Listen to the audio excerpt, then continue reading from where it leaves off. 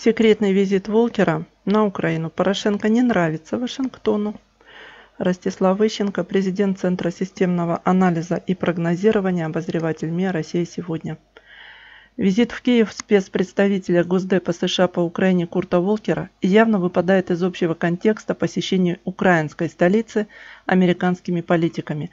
Вопреки, вопреки обыкновению, события украинские СМИ не пиарили – тот момент, когда колеса самолета американского дипломата уже коснулись полосы аэропорта Борисполь, встречи с ним еще не были проанонсированы.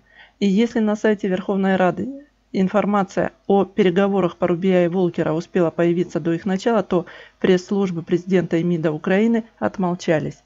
Складывается впечатление, что американская сторона в принципе не желала перед придавать этот визит огласке. Если бы не информационный прокол Киева, 21 октября информационный ресурс liga.net со ссылкой на неназванный источник в МИДе анонсировал приезд Волкера, то, скорее всего, визит прошел бы в обстановке полной секретности. Надо сказать, что утечку информации добросовестно пытались нивелировать.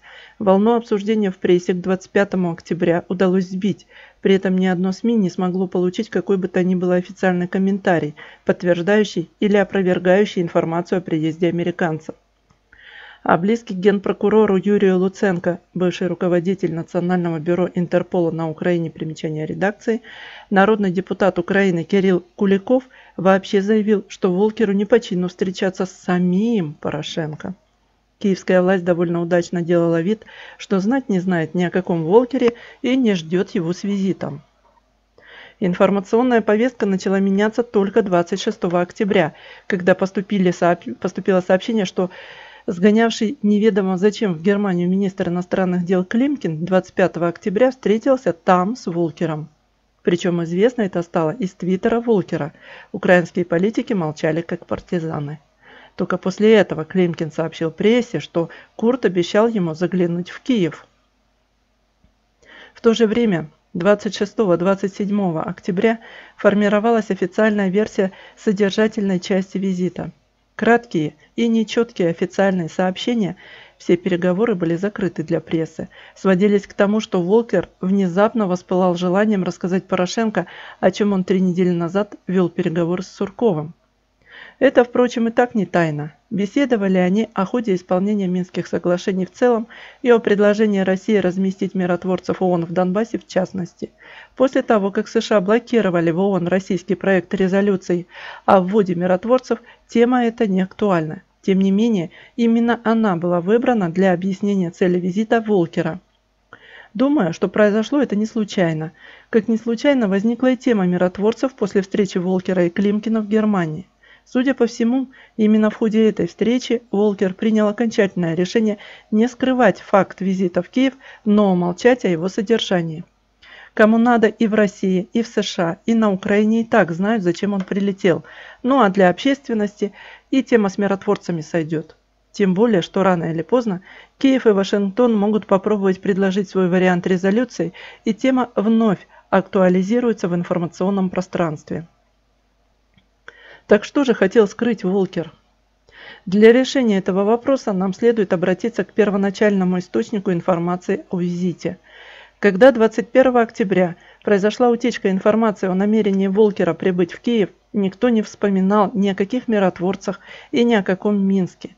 Сливший информацию источник отметил, что визит не плановый, и внезапное желание посетить Киев мотивировалось необходимостью на месте разобраться с внутриполитической ситуацией на Украине – и эта мотивировка, которую потом замылили и забыли, похожа на истинную. Действительно, 21 октября в Киеве уже четвертый день шел антипорошенковский мятеж, формально возглавляемый Саакашвили.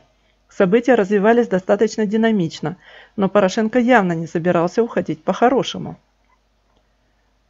Мне неоднократно доводилось говорить и писать о том, что американцам все равно, кто победит во внутриукраинской борьбе – После зачисток 2014 года в местной политике все равно остались только марионетки Вашингтона. А какая из них будет у власти, разницы нет.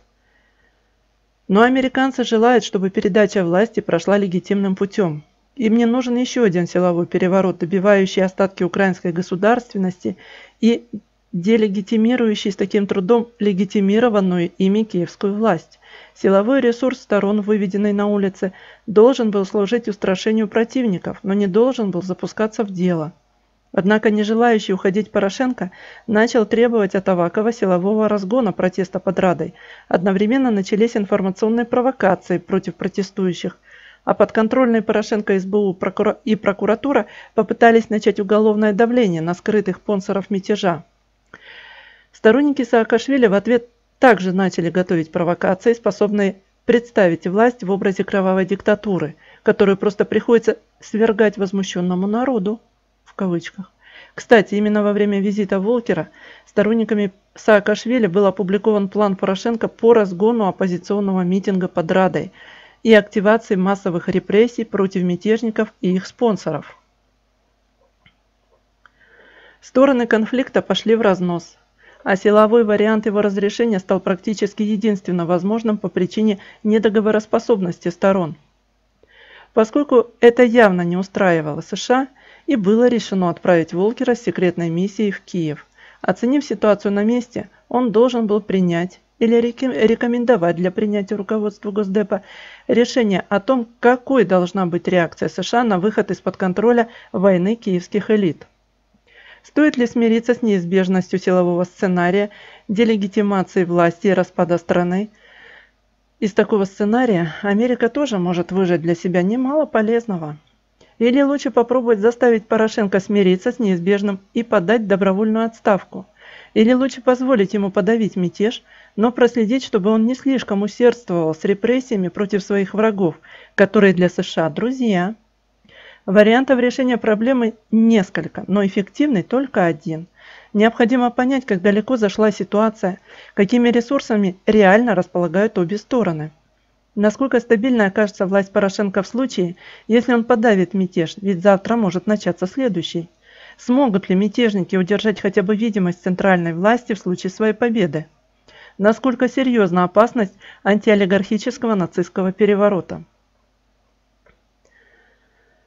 Все это не праздные вопросы, и правильный ответ на них обеспечивает принятие верного решения.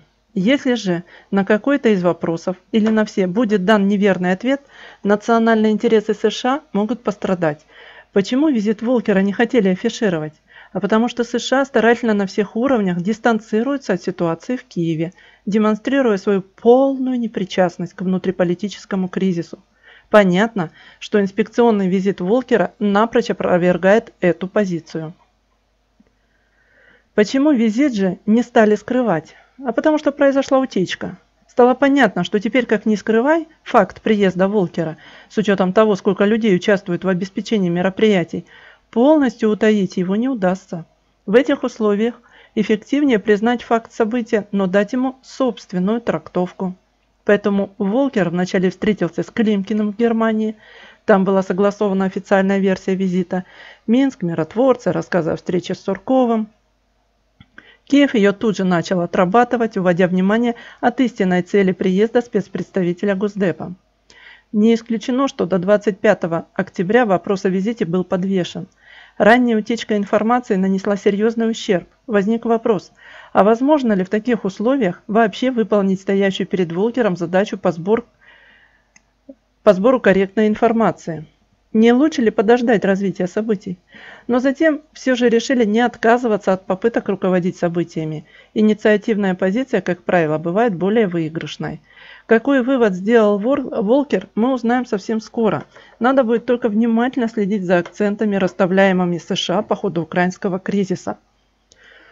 Но гораздо интереснее вопрос, насколько США в принципе могут управлять украинскими событиями – Хотят, понятно, но насколько будут склонны к ним прислушиваться украинские олигархи, которым своя рубашка к телу ближе.